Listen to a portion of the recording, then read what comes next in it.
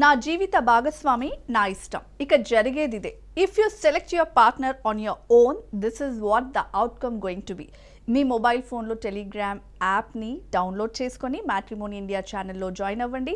మీరు మెచ్చిన మీకు నచ్చిన సంబంధం ఉచితంగా చూసుకొని మాట్లాడుకోవచ్చు. ఇక అసలు విషయానికి వస్తే పిల్లలకి జీవిత భాగస్వామిని ఎంచడం తల్లిదండ్రుల కర్తవ్యమని వివాహ వేదమే కాదు మన శాస్త్రం నిక్కచ్చిగా చెప్పింది. ఎవరి జీవిత భాగస్వామిని వారు ఎంచుకోవడం వల్ల కలిగే నష్టాలన్నీ ఇన్ని కాదు.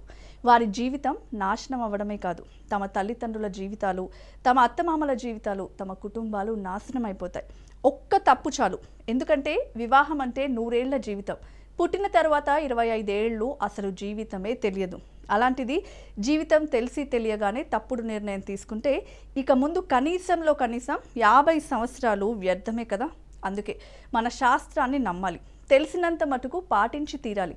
అప్పుడే అందరి జీవితాలు సక్రమంగా సాగుతాయి. ఒక మంచి మెరుగైన జీవితం ఏర్పడుతుంది.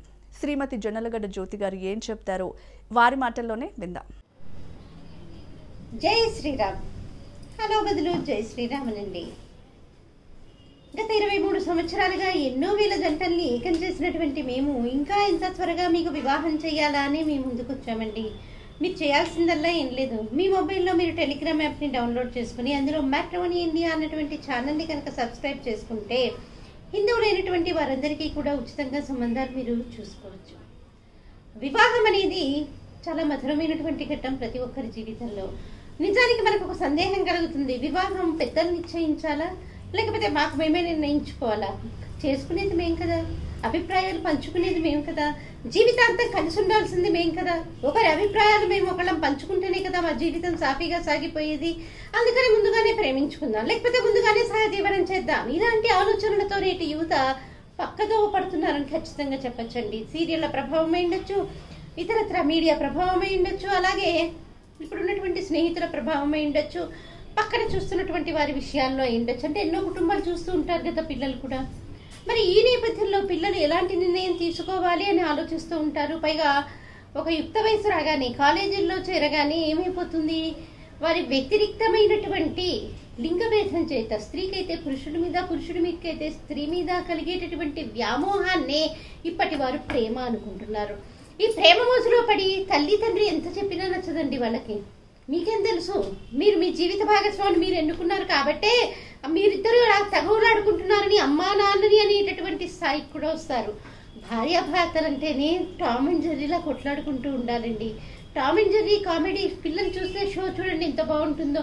ఒకదాన్ని ఒకటి పట్టుకోవడానికి ఎంత అందంగా పరిగెడుతూ ఉంటాయి అందులో కూడా మనం ఆనందిస్తూ ఉంటాం. దాంపత్య బంధం కూడా అంతేనండి. ఎప్పుడు ఒకేలాగా ఉంటే ఏం బాగుంటుంది? అలా మధ్య మధ్యలో కీచులాటలు ఉంటేనే బాగుంటుంది. కానీ యువత ఏమనుకుంటారు? ఓహో మా అమ్మ నాన్నది అరేంజ్డ్ మ్యారేజ్ కాబట్టే వాళ్ళు అలా తగవులాడుకుంటున్నారు అన్నటువంటి ఆలోచనతోటి వారికి నచ్చినటువంటి అమ్మాయినో అబ్బాయినో చూసుకుని అదే ప్రేమ అన్నటువంటి ఒక రంగు పొలుగుతారు నిజానికి అది ప్రేమ కోరిక మోహమా అన్నటువంటిది వాళ్ళకే తెలియదు వ్యామోహము కూడా తెలియదు పైకి కనిపించేటటువంటి రూపాన్ని చూసి అదే ప్రేమ అన్నటువంటి ఒక పెద్ద గొప్పనైనటువంటి పేరు పెట్టుతున్నారండి ఇప్పటి యువత. దానివల్ల ఏమైపోతుంది? వారి జీవితాన్ని వారే దుర్భరం చేసుకుంటున్నారు. ఒక రకంగా ఇటు తల్లిదండ్రులకి కాకుండా తర్వాత ప్రేమించి పెళ్ళి చేసుకున్నటువంటి వాడికి కూడా కాకుండా వాళ్ళు ఏమైపోతున్నారు వాళ్ళ జీవితాన్ని మధ్యలోనే అంతం చేసుకునేటటువంటి స్థితికి వస్తున్నారు. వాళ్ళకే వాళ్ళు అంతం చేసుకోవడము ప్రేమించాలని చెప్పి నమ్మవలికినటువంటి వాడు అంతం చేయటము ఈ రకంగా చూస్తూనే ఉన్నాం మనం ప్రతినిత్యము కూడా. యువత ఈ నిర్ణయం తీసుకునేటప్పుడు చాలా ఎక్కువగా ఆలోచించాలండి. ఎందుకంటే ఇప్పటి వాళ్ళకి మనం చెప్పాల్సింది ఏం లేదు. అరచేతిలోనే వాళ్ళకి వైకుంఠం ఉంది అంటే మొబైల్లోనే అన్ని కనిపిస్తూ ఉన్నాయి. నిర్ణయం తీసుకునేటప్పుడు తస్మాత్ జాగ్రత్త. ఒకటికి పదిసార్లు పెద్దలతో కూడా ఆలోచించుకొని మీ జీవిత భాగస్వామిని ఎంచుకోండి. అప్పుడు మీ జీవితం చాలా ఆనందదాయకంగా ఉంటుంది.